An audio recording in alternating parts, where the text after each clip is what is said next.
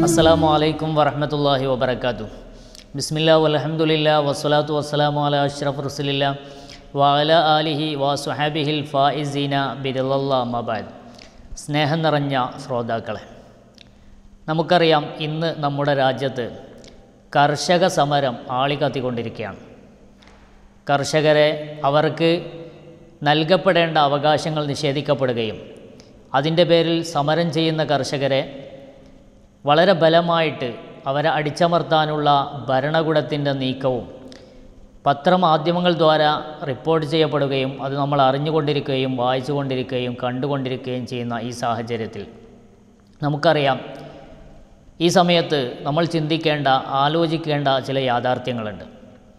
നമുക്കറിയാം കർഷകർ എന്ന് പറഞ്ഞാൽ അതൊരു രാജ്യത്തിന്റെ അല്ലെങ്കിൽ ഒരു മേഖലയുടെ അല്ലെങ്കിൽ ഒരു നാടിന്റെ നട്ടെല്ലാണ്.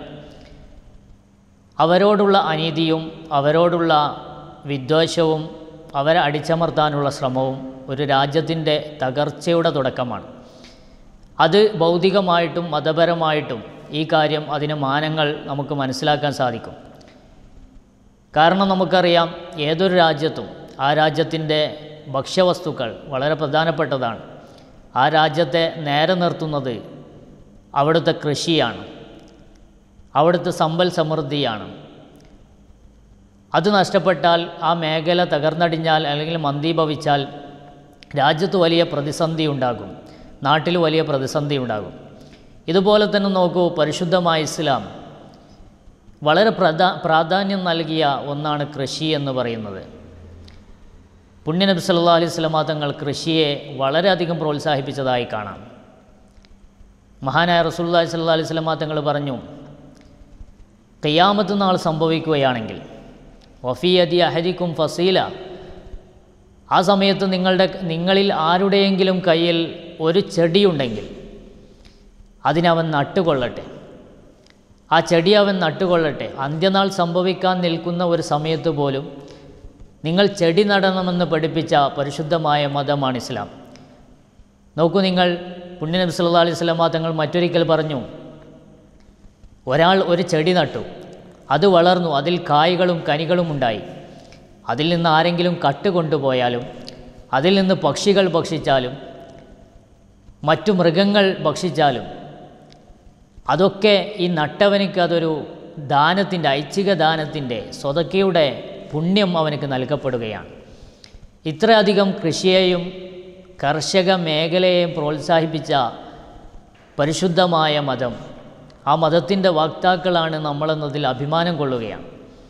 കാരണം ഇന്ന് കർഷകരെ അടിച്ചമർത്താനുള്ള ശ്രമം നടന്നുകൊണ്ടിരിക്കുമ്പോൾ ആഗോളതലത്തിൽ തന്നെ രാജ്യം വിമർശിക്കപ്പെടാനുള്ള കാരണമായി അത് മാറുമോ എന്ന ആശങ്ക നിലനിൽക്കുമ്പോൾ പരിശുദ്ധമായ ഇസ്ലാം ആ കർ കൃഷിക്കും കർഷകർക്കും നൽകിയ പ്രാധാന്യം നമ്മളൊന്ന് മനസ്സിലാക്കണം. മഹാനായ അബുദർദാർ അലി അള്ളാഹുൻ അബുദർദാർ അലി അള്ളാഹുവിന് വളരെ വൃദ്ധനായ സമയത്ത് ഒരു ഈത്തപ്പനയുടെ ചെടി നടുകയാണ്. ആളുകൾ ചോദിച്ചു പ്രിയപ്പെട്ടവരെ നിങ്ങൾക്ക് വളരെ വയസ്സായി. വാർ വാർദ്ധക്യ സഹജമായ രോഗത്തിലാണ് നിങ്ങൾ. ഈ ചെടി വലുതായിട്ട് അതിൽ കായുണ്ടാകണമെങ്കിൽ ചുരുങ്ങിയത് ഇരുപത് വർഷമെങ്കിലും എടുക്കും. നിങ്ങൾ അന്ന് ജീവിച്ചിരിക്കുമോ എന്ന് യാതൊരു ഉറപ്പുമില്ല. അതുകൊണ്ട് എന്തിനാണ് ഈ വയസ്സാം കാലത്ത് ഈ പണിക്ക് നിൽക്കുന്നത് എന്ന് ചോദിച്ചപ്പോൾ മഹാനായ അബുദർദാർ അലി അള്ളാഹു എന്ന് പറഞ്ഞു അത്രേ അതിന്റെ കായ്കൾ ഭക്ഷിക്കാനല്ല അതിന്റെ കൂലി എനിക്ക് കിട്ടാനാണ് എന്ന് മഹാനായ അബുദർദാർ അലി അള്ളാഹുവിന് പറഞ്ഞ സംഭവം ഗ്രന്ഥങ്ങൾ രേഖപ്പെടുത്തിയതായി കാണാം.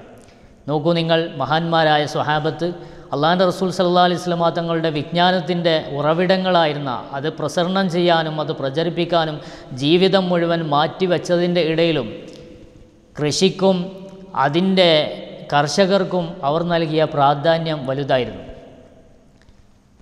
കർമ്മശാസ്ത്ര ഗ്രന്ഥങ്ങൾ പരിശോധിച്ച് നോക്കിയാൽ നമുക്ക് കാണാൻ സാധിക്കും. ഫതുൽ മൊയിൻ. നമുക്കറിയാം വളരെ സാധാരണക്കാരിൽ തന്നെ പ്രസിദ്ധി നേടിയ ഗ്രന്ഥമാണല്ലോ. ആ ഫതുൽ മൊയിനിൽ ഒരു ഭാഗമുണ്ട് ഫായിദത്തുൻ. അഫ്ലലുൽ മുക്കാസിബി അസറാ അവിടെ വിശദീകരിക്കുന്നത് മനുഷ്യൻ ചെയ്യുന്ന ജോലികളിൽ ഏറ്റവും ശ്രേഷ്ഠമായ ജോലി കൃഷിയാണ്. കൃഷിയാണ്. എന്നിട്ട് പറയുന്നത് തുടർന്ന് പറയുന്നത് ശ്രദ്ധേയമാണ്. സുമ സ്വനാ പിന്നെ നിർമ്മാണ പ്രവർത്തനങ്ങളാണ്. നോക്കൂ നിങ്ങൾ സുമ തിജാറ പിന്നെ കച്ചവടമാണ്.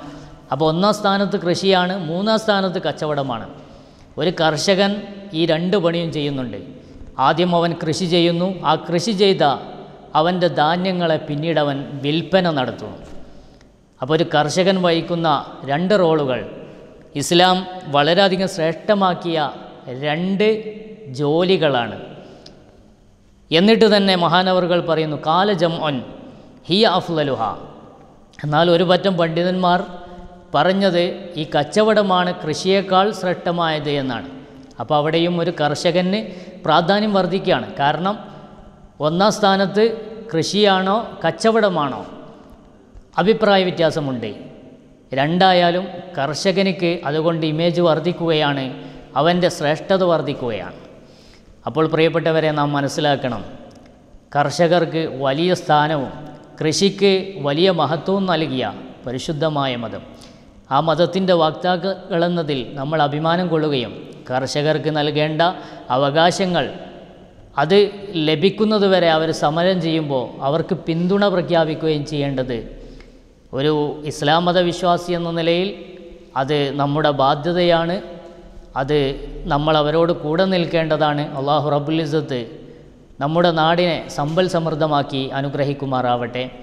അള്ളാഹു താല കൃഷി ചെയ്യാനും ആ കൃഷിയിൽ നിന്ന് വിളവെടുക്കാനും അതുകൊണ്ട് പുണ്യം കരസ്ഥമാക്കാനും ധാരാളം സ്വതക്കയുടെ ഫലങ്ങൾ അതുകൊണ്ട് നേടാനും അള്ളാഹു നമുക്ക് തൗഫീഖ് നൽകട്ടെ. അമീൻ അസ്സാം വലൈക്കും വറഹമത്തല്ലാഹി വബർക്കാത്തു